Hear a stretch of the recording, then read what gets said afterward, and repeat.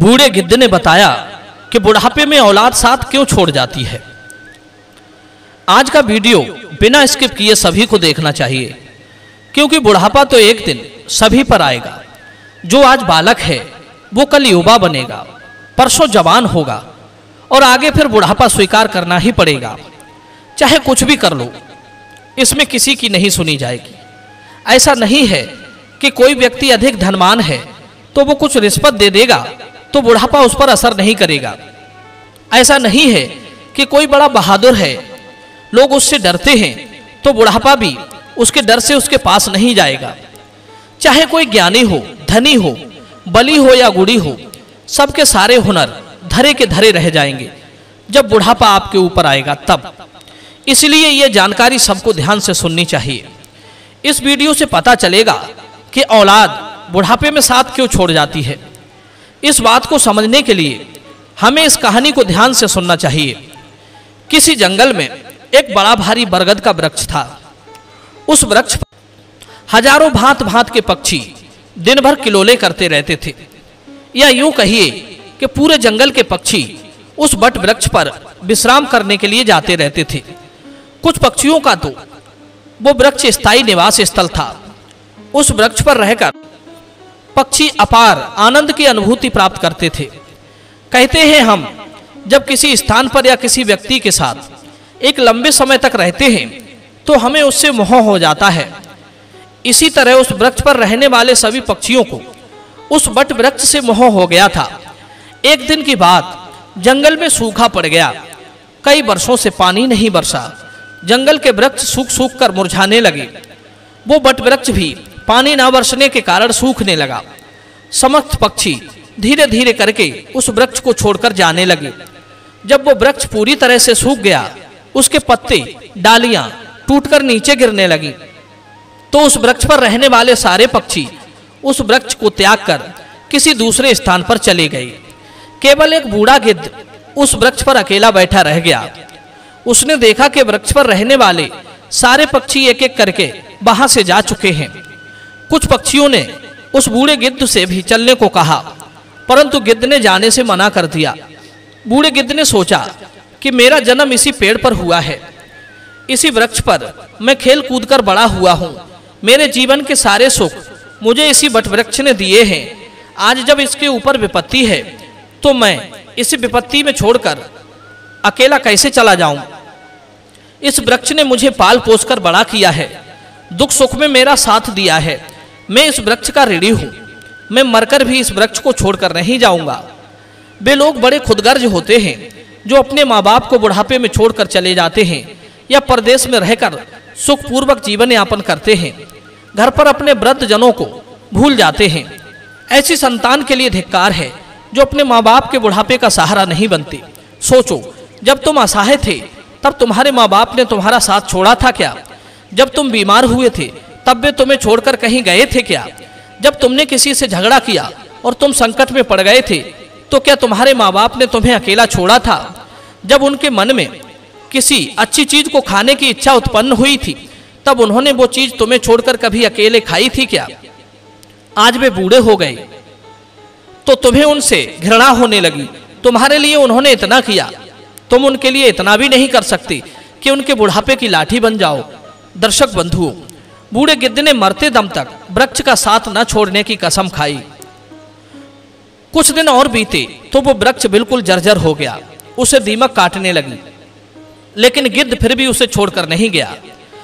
दिन में थोड़ा इधर उधर घूमकर अपना भोजन जुटा लेता था और शाम होने पर उसी सूखे हुए वृक्ष पर आकर बैठ जाता था। इसी तरह से कई रोज बीत गए। जो पक्षी उसे छोड़कर दूसरे स्थान पर चले गए थे, उन्होंने सोचा कि गिद्ध काका अभी भी उसी सूखे वृक्ष पर बैठे रहते हैं। क्यों ना हम सब मिलकर उनके पास चलें और उन्हें समझा बुझाकर अपने पास बुला लाएँ। यही सोचकर कुछ पक्षी बूढ़े गिद्ध के पास गए और उन्हें अपने साथ चलने का आग्रह किया। कहने लगे, गिद्ध काका, तुम कहाँ इस सूखे हुए वृक्ष पर बैठे रहते हो? इस वृक्ष का जीवन खत्म हो चुका है। मरे के साथ में मरना कहाँ की समझदारी है? कहते हैं, वही जीव का श्रेष्ठ है जिसमें धर्म की हानि ना हो। वही देश श्रेष्ठ है जहाँ कुटुंब का पालन हो सके। ये वृक्ष बिल्कुल जर्जर हो गया है। दीमक इसे रात दिन गलाए जा रही है। किसी दिन हवा के तेज झोंके के साथ ये गिर जाएगा। फिर तुम कहाँ जाओगे? विद्वान लोग कहते हैं कि शत्रु, कर्जा, अग्नि, बीमारी, इन चारों को समय रहते दबा देनी चाहिए।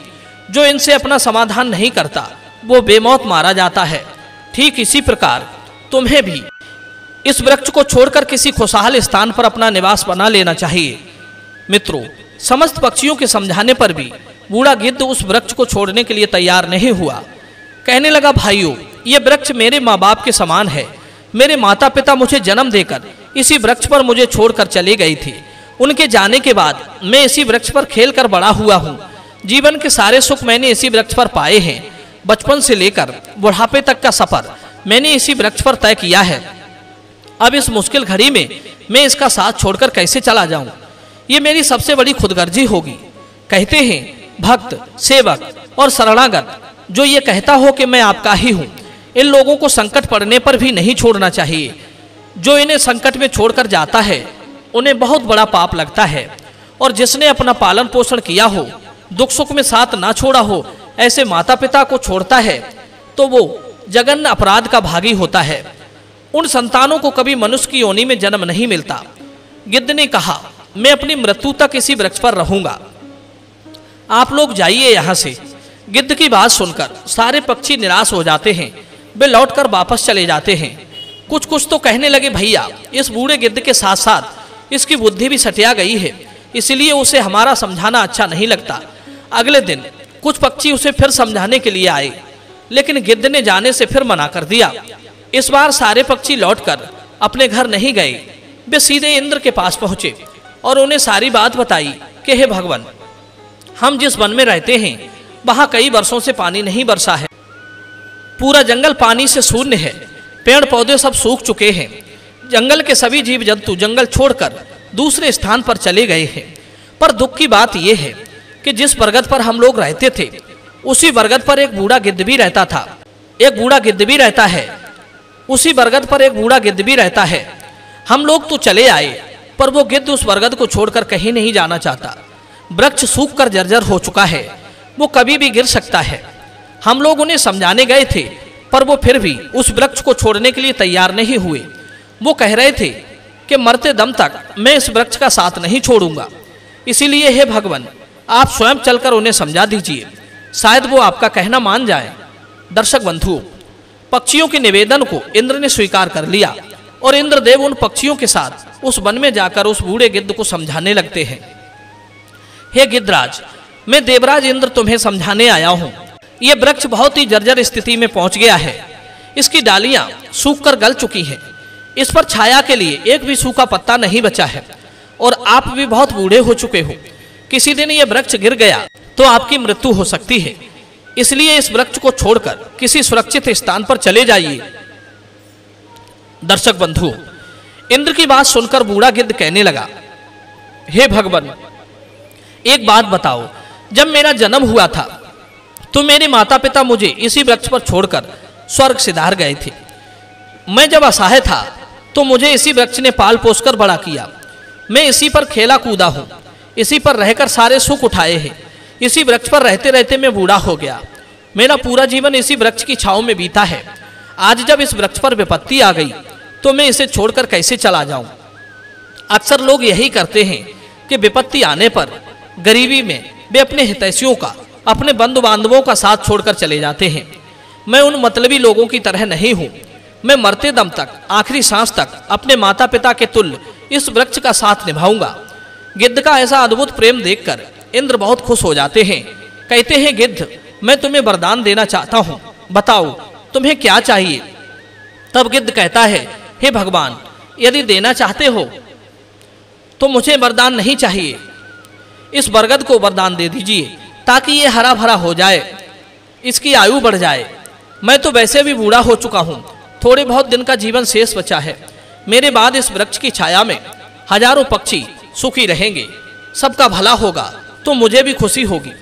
गिद्ध की बात सुनकर इंद्र ने उस वृक्ष को फिर से हरा भरा बना दिया। पूरे जंगल में पानी वर्षा दिया। सारे जंगल के वृक्ष फिर से हरे भरे हो गए। चारों तरफ़ हरियाली छा गई। जो जीव जंतु पशु पक्षी जंगल को छोड़कर चले गए थे, वे फिर से उसी जंगल में लौट आए। सारे पक्षी उसी बरगद पर आकर कलरव करने लगे। सब पक्षी उस बूढ़े गिद्ध काका की खूब सेवा करने लगे। उनके लिए भोजन पानी सब वहीं लाकर देते थे। मित्रों, इस प्रकार गिद्ध का शेष जीवन सुखपूर्वक बीत गया। हमें भी इस कहानी से सीख लेनी चाहिए। कि अपनों का बुरे वक्त में कभी साथ नहीं छोड़ना चाहिए। खास करके जिसने आपको जन्म दिया है, उस माँ का और पालन पोषण करने वाले उस पिता का। वो आपके जीवन दाता हैं। आपको पाल पोस कर बड़ा करने में उन्होंने बहुत तकलीफ़ उठाई है। उनके बुढ़ापे में यदि आप सहारा नहीं बन पाए तो वो जीवन किसी काम का नहीं रहेगा। दर्शक बंधुओं, ये वीडियो यदि पसंद आया हो तो वीडियो को लाइक करना और चैनल को सब्सक्राइब करना। मिलते हैं अगली वीडियो में नई चर्चा के साथ। आप सभी का बहुत बहुत धन्यवाद। जय श्री कृष्ण।